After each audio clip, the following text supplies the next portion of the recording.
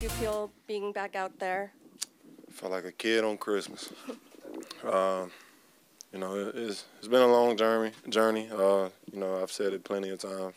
I don't want to keep you know going over the same story, but uh, this was probably one of the best days of my life. Just being out there on the floor again, playing the game that I love.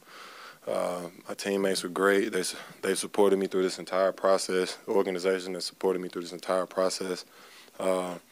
They made it easy and smooth for me as much as they could. Uh, they understood the you know the struggles that I went through on the daily, and um, like I said, they just made it as smooth and as easy as possible. So, uh, you know, I thank them, and um, like I said, it's one of the best days of my life. Demarcus, can you take us through what your emotions were like after that dunk, uh, and then seeing how the bench reacted? I'm just glad to know I can still dunk. but nah, it felt good. Um, you know, I, I, I never in a million years would have thought that would have been my first, you know, my first basket. You know, playing ball again. But uh, you know, um, I liked how it happened, and uh, I probably I wouldn't have changed it. I like that. hey, Demarcus, uh, over here. Was it any more different or emotional leading up to this game because of the significance of it and how long you've been out? Um, it was. I was I was extremely nervous. You know, I was texting my um, my family and you know friends kind of before the game. I talked to my brother. Um, I talked to my sister, my older sister as well, and um, you know I was just telling them how nervous I was, and they're like, "Man, you've been doing this your whole life. Like it's kind of like you know riding a bike. Um, once you once you learn, you kind of never forget." But um, you know, I was nervous all the way up until, and you know, stomach was tight, butterflies, BGs, whatever you want to call it. And uh, but once the ball went up, you know, you know everything kind of went out the window, and it all it all felt familiar. Were you surprised how open you were from three? It seemed like all your threes were. Yeah, 10. man. Uh, I wonder what the, I wonder what the scouting report is on me right now. I mean, I I can shoot, but you know I'll take it. Uh, they made my night a little easy, so I'm not mad at it. Demarcus, speak, speaking of the shooting, um, is it is this as good as you've ever felt as a three point shooter in your career? Um, I mean, I can't determine that off of one game. Uh, you know, I'm a pretty confident shooter when it comes to you know shooting the long ball, but uh, I can't determine that off one game. But it felt good tonight. How is it to play without double teams when, when you have a single coverage? Oh, that this is a first. Like in my entire basketball career, so. Uh, I definitely can get used to this. Uh, Demarcus, uh, how did it feel just to get your rhythm back? At what point did you feel like your rhythm was coming back? You started to get your touches.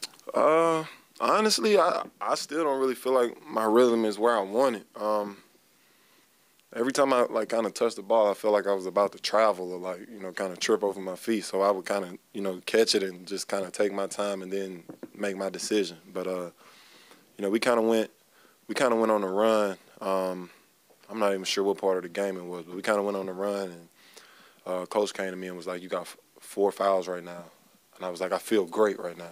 Like, so we kind of, and at that point, I was really like into the game, and I was feeling my rhythm. It was kind of coming back for me, and um, but he was asking me like, "I can either take you out or leave you in."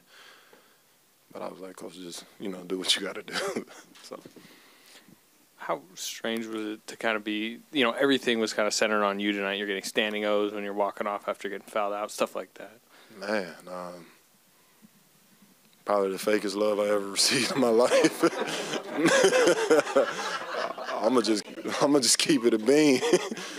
uh, I don't, I don't, I honestly don't see how you know guys like Steph and, and KD do it on the daily, where it's just cameras around them all day. I like I don't like it I'm, at all. Like so hopefully this is the last day of this. Demarcus, what did it, Demarcus, what did it mean for you to see Draymond Green go to bat for you in that second quarter after that no call, and then end up getting teed up by that ref? Just you sure it was just him? You sure it was him going to bat for me? I think Draymond was arguing the call earlier for himself. no, nah, I'm kidding. But uh, no, like it's a great group of guys, man. You can tell they we all uh, they all fight for one another. Um, there's nothing but love in the room. Like I said, they've been great since I walked in, so uh, I'm not surprised at all. Can you, oh, sorry. Can you talk about the? You, you referred to your team as the most hated team in sports. Do you feel like this team, every night, there's the opposition takes it to another level on you guys? Um, well, it's not even it's not even about that. Like when it comes to opposing team, we're, we're gonna get their best effort every night, no matter who it is. It's it's, it's the opposite team Super Bowl. So, um, but when I was referring to that, I mean, I mean, have you seen social media? like, man, I mean, if you and me just sitting on the sideline throughout the season so far, like, you know, some of the things that that's you know being said on the daily just from out of the stand, it's it's crazy, and um, and, it's sick to think about like you get this much hate from a simple game of putting a, a round ball through a hoop, but it's it's crazy. But yeah, I, I stand by what I said. Hey, Demarcus, with uh, some of the different Clippers trying to be physical and bait you, how did how did you try to handle that and respond to that? Who's being physical? Uh, sometimes Gortat or Harrell. Man, y'all lucky this is my first day back. Right. I would tell you how I really feel about Buddy, but uh, I'm a you know I'm gonna be cool and, and stay on this uh, you know this straight line right now. Fair enough. Wait until I get mid season for him. I got something for you. Um, I saw his quotes before the game too. That's why I felt some type of way. But yeah, go ahead. Uh, Demarcus, you said you were, Demarcus, you said you was dealing with things on a day-to-day basis. How were you able to keep a positive mindset around the team? Um, I mean, outside of basketball, like my family, like they've they've been my you know my my rock, my foundation through this whole process, and um, and outside of my family, my teammates and the organization, they've been great. So uh, when I was in the gym or around between the lines, I had you know the organization and my teammates to lean on, and when I was heading home, I had my family to lean on. So uh, you know, I just kept it pushing. The basketball world was kind of awaiting this return. Um, how would you describe the on the court chemistry with your teammates and just finally kind of breaking that seal? Um, I mean, it wasn't bad. Uh, I think we can get a, a whole lot better, and um, we got a lot of potential. Um, and honestly, this was our first time like playing together. Steve just kind of threw us out there in the fire. Quinn, uh, uh, QC actually reminded me. I'm like, man, I, like, like what's going on? And he had to remind me, like, yo, bro, this your first time like playing together.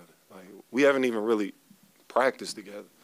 So um, we got a lot of growing room. Demarcus, you mentioned earlier that you'd spoken to some close members of your family leading up to the game. Was there anything that anyone said that kind of maybe helped calm your nerves or help prepare you for this experience? My my girl, she she sent me a, a great message before the game, and it just kind of put everything in perspective for me. And uh, she sent me this picture. It was like the day after I had my surgery, and I was sitting in a wheelchair in uh, L.A. You know, staring out at the sunset. she, I didn't, it wasn't planned or anything, but you know, she called a good moment, and she just kind of sent it to me and was like, you know, think about where you are now and you know where you came from, and uh, it just kind of put everything in perspective for me. My lady.